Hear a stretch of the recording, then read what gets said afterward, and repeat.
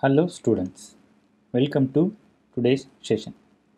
So in this session, we are going to discuss about SOAP which is a communication protocol designed to communicate through internet with the IoT device.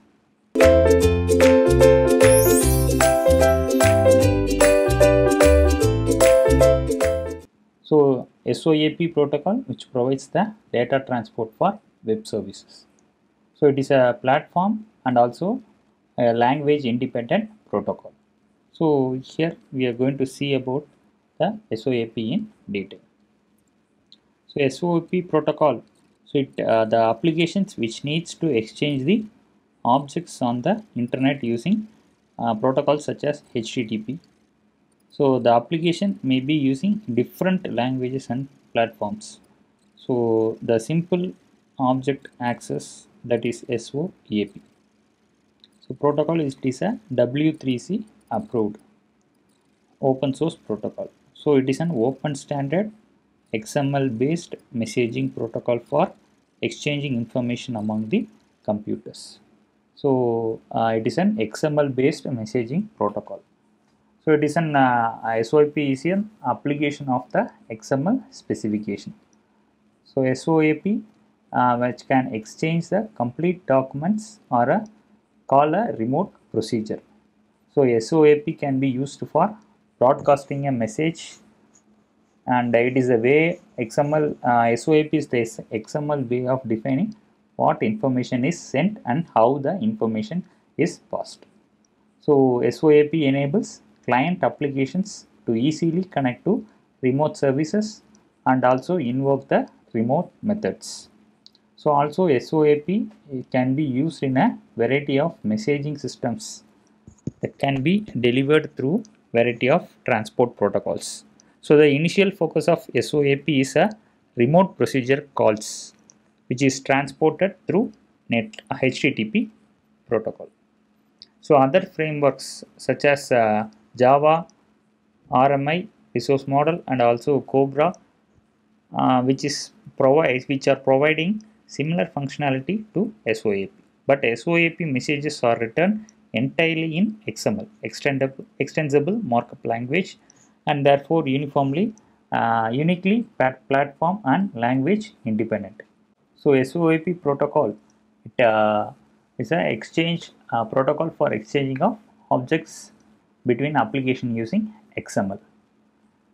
So it is a protocol for accessing the uh, IoT device through a gateway to the web service. So it specifies the formats and way of communicating the messages. So its usage is independent of the application language and the platform. So that is OS or hardware and a hardware. So it is extendable, extensible and is also used for APIs for the web services and service oriented architecture. So SOAP which enables the uh, it is a protocol for exchanging the objects okay so using XML. So its usage is independent of the application language and also the platform, the OS and hardware. So it is uh, used for uh, APIs. Okay, it is also used for APIs for the web services and service oriented architecture. So this is the format of SOAP. So this format consisting of a envelope. So which in turn which consisting of SOAP uh, header and SOAP body. So header which has two blocks and also body which has two sub elements. So which envelopes uh, which it defines the start and end of the message. So it is a mandatory element. So the header which contains the uh, any optional attributes of the message used in processing the message. So either it is an intermediary point or it is an ultimate endpoint. So it is an optional element. So uh, the body which contains the XML data which comprising the messages being sent. So it is a mandatory element. So optional element uh, fault that provides in information about errors that occurs while processing the image. So all these elements which are declared in the default namespace for the SOAP envelope. So SOAP functions so SOAP uh, which enables the development of applications and API that is application programming interface.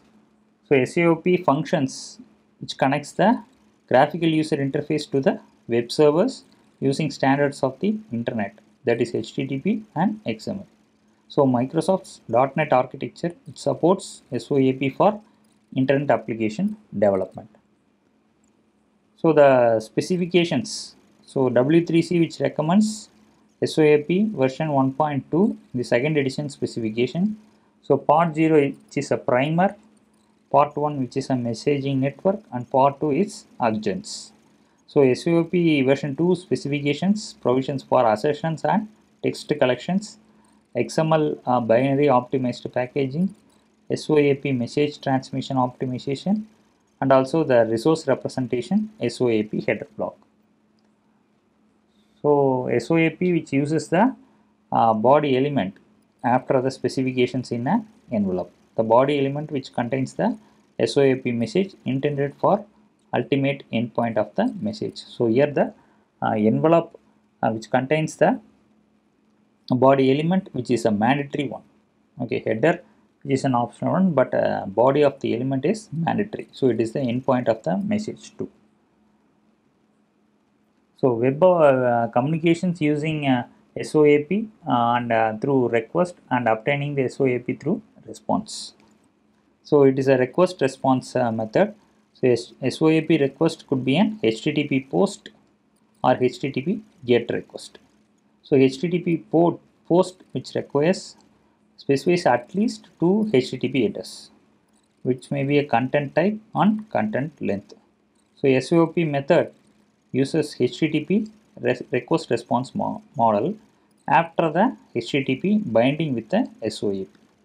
So here the client which is connected to the server. So the client side SOAP protocol which is a request response method using res uh, request response method and also HTTP protocol through web server uh, which in turn which connects the web server to the remote server and also the portal server. So the request response which complies with the SOAP encoding rules. So we are going to take an uh, example to explain the structure of and uh, structure and usage of SOAP. So this is a request response uh, method.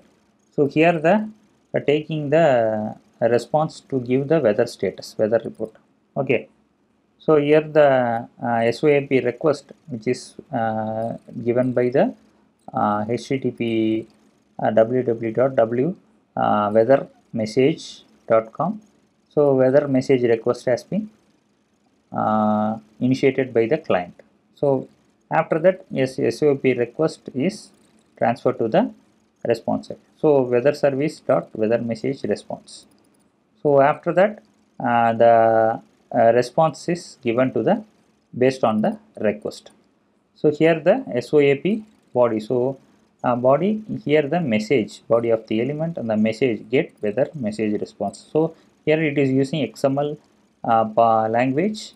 So for uh, processing the messages. Okay so after that the message id which is been created. So using these uh, versions and also using these post messages so this uh, diagram shows the SOAP request and response. So here the part which is from uh, into five divided into five sections. So how the message is uh, passed and how it is response to the client. So based on the request. So which is uh, we are giving by the one example. So a smart umbrella which shows the weather. So based on the weather the message will be displayed to the user. So why uh, whether you have to take an umbrella or not. Okay. So this uh, uh, assume this a smart umbrella that the gateway which sends the request for the weather service response and receives the weather message from a weather message daily service. So here the how uh, the uh, how does the SOAP request or response communicate between the two applications. One at the gateway which is weather message G and other at the uh, weather message services which is using web objects uh, that is www.messageg.com and www.weatherservice uh, weathermessageservice.com so here the how the SOAP is message is structured and uh, this part which is the SOAP message for request from N1 to N2 okay? So and uh, uh, this part uh, which can be the SOAP message format for the XML stream as response using HTTP 1.1 binding and how the error will communicate how the error communicate. So here the uh, first diagram which shows the uh, SOAP request or response communication between weather message and a weather message service. So SOAP sends a request from one end, so this URL to the other end, this is uh, also another URL. So for weather message ID, uh, that is uh, 250715. So the weather message ID uh, 250715 value will be received at N1 so after getting the response. So it shows the uh, structure SOAP message structure as in envelope header and also body.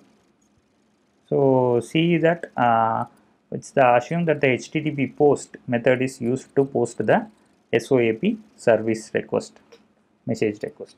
So assume that uh, get temperature response okay so in order to know the weather you have to find the temperature so get temperature response is a method for retrieving the weather message of the id uh, 250715 from the resources at n2 so SOAP which sends the request for weather message and the message id 250715 value will be received at end 1 from end 2 so uh, and also the response will be from end 2 okay. So response will be uh, from end 2 that is from uh, www.weatherservice.com uh, with the weather message response to the end 1 so end 2 response for weather message id 250715 will have the first line of status of message receipt. Okay so this is the first line of message receipt. So next lines will be HTTP binding and the response message. So and then error message. For example if there is a uh, we can't be able to get the data means the error message from the SOAP message is carried in a fault element okay so that is an optional one but if there is any other error it will be automatically uh, displayed in this fault so the element which has the child elements has fault code fault string fault actor and detail. So error can be version mismatch or must understand or client or server. So the SOAP request for response uh, communication between gateway.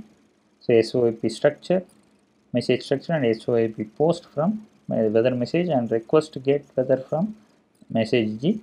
So SOAP uh, response ID okay 250715 at weather message service to weather message G using internet and HTTP binding so and then uh, next comes to the uh, advantages of SOAP so while using SOAP which is a, a simple object access protocol so we'll, while comparing with that object protocol uh, with REST protocol which is followed so it is designed to break the traditional monolithic applications down into a multi-component. So it is a, a enveloped one okay? So there is a difference between envelope and a normal letter card okay? So uh, the SOAP is a Uh, uh, enveloped one. So in REST it is a model of distributing computing interaction based on the HTTP protocol and the way that web server supports the client. So REST over HTTP is al almost always the basis for modern microservices development and communication. So REST and HTTP is a simple, flexible, lightweight protocol, lightweight protocol and offers a little beyond a way of exchanging information. So SOAP is an integral part of the service-oriented architecture and the web service specifications associated, associated with the SOA. So because it allows the sender to create a message route based on the logical services that have to be applied on the message to its destination. So it uh, also lends itself to provide secure and compliant connections, controlling access, offering reliable delivery. So reliable delivery and failure recovery and supporting dynamic device discovery. So SOA without SOP is difficult to imagine. Okay. So SOP is messages. So secure and complete connections, controlling access, offering reliable delivery and failure recovery. It also supports dynamic service discovery. So SOAP messages are defined at a high level in XML, but most SOAP applications use web services definition language that is WSDL, which is authored in XML. So XML structure of SOAP which is makes it handy for applications that expect their information to be provided in XML form. So on the fact that SOP which can ride on variety of networks including HTTP uh, that means it can be easily passed through firewalls where other protocols might require special accommodation. So the data structure of SOAP is uh, based on XML so which is similar in many ways to the HTML which is used to define web pages. So like HTML, Excel, XML is a largely human readable. So which makes it fairly easy to understand a SOAP message but also makes the message relatively large in comparison to the common object request broker architecture that is COBRA, CORBA, sorry. So common object request broker architecture. CORBA and its remote procedure call RPC a protocol that will accommodate binary data. So these are all the advantages. So the biggest disadvantages of SOAP is that it is a heavyweight protocol for heavyweight architecture. So the notion of a message which passing through a string of nodes is to be processed by each which seems to mix protocols and services bus architecture models for software and neither of those that are considered optimal for microservice based development which is popularly used. So it is a heavyweight protocol for a heavyweight architecture. So this is the disadvantages of SOAP.